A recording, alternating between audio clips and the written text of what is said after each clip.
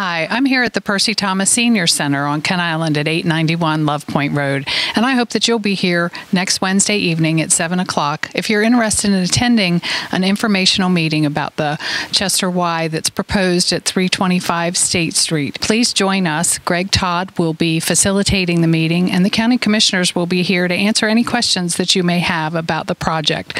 We'll also have Deborah Langseth, Executive Director of the Chesterwye Center, will be here with us as well and the architect. So we'll have previews of the proposed facility. Chesterwye currently has nine group homes in the county, and this will be the 10th one. So we certainly hope that you come out and visit us on April 13th at 7 o'clock for the informational meeting. The county commissioners will be holding their public hearing on Tuesday, April 26th. So visit our website, www.qac.org, for more information.